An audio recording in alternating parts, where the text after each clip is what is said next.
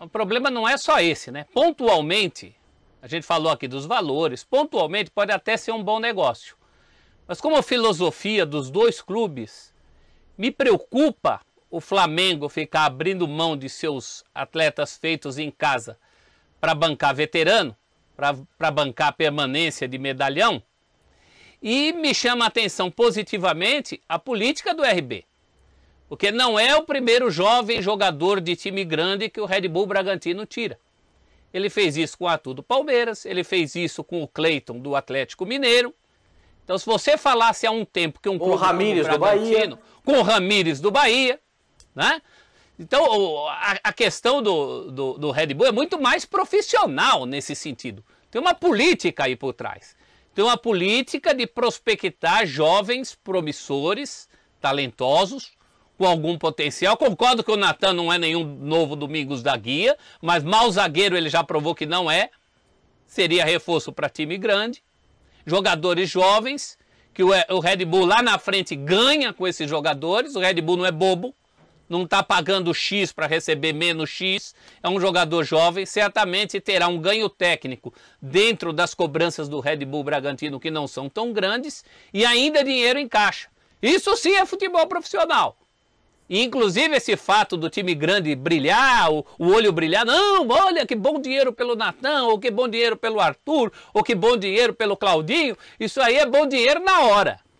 Agora, do ponto de vista profissional, o Red Bull Bragantino está dando um nó em toda essa turma que tem camisa aí. Todos eles.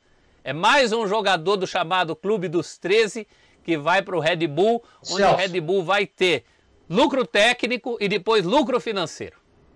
O, o, lucro do Flamengo, o lucro do Flamengo é esportivo, além do financeiro, claro. Óbvio, tem que ter o lucro financeiro também. Mas o Flamengo conquistou a América e nos encheu de, de, de, de encanto com um time que não tinha nenhum jogador da base. Nenhum. Diego Alves, Rafinha, Rodrigo Caio, Marinho e Felipe Luiz. Arão, Everton Ribeiro, Gerson e Arrascaeta. Gabriel e Bruno Henrique. O Flamengo quer título, velho. O Flamengo quer título. Se tiver um moleque na base. Mas não é só isso, muito, né, Sormano? É, não é só isso. Você precisa se, se estruturar. Se tiver um moleque na base muito acima da média, é óbvio que o Flamengo vai, vai segurar. Por exemplo, não segurou o Renier, é verdade. Não segurou. É, é nessa, que, eu, é nessa que o Red Bull está entrando. Então, o, o, exato, acima Bull... da média não aparece do dia para a noite. O Red Bull está comendo pelas bordas pegando bons jogadores dos times grandes. Isso sim é uma política. Dentro do tamanho do Red Bull. Eu acho que a política do Flamengo é melhor que a do Bragantino. O, o, a política, para mim, a política do Flamengo é ótima. O Flamengo está ganhando tudo.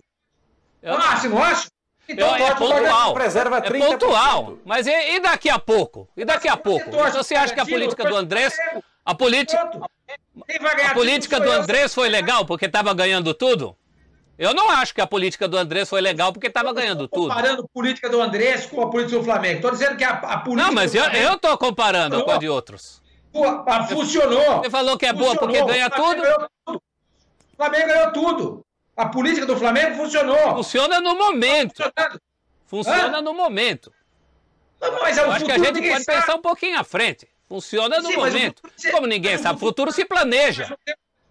Ô, ô, ô, Celso, o futuro nós não temos controle sobre ele. Não temos. Não temos. O futuro se planeja, sim. Se planeja. Gente, eu não consigo falar, cara. Então por isso você vai, você vai apertar o botão F, porque o futuro não se controla? Espera um pouquinho. Vai lá. Agora o Sormani, depois um Zelt de novo. E daqui a pouco o Pascoal quer falar também. Deus. Peraí, é o seguinte, pera... quem não deixa falar é você. Você que não deixa falar. Calma, calma. Você que não deixa falar. É. Não, atenção, você... atenção é. gente. Atenção. Ó, vou, vou derrubar o áudio aí. Pera um pouco, pera um pouco, pera um pouco, pera um pouco, pera um pouco. Vamos lá. Tem essa coisa, deixa eu falar, deixa eu falar, vou botar a ordem aqui. Calma.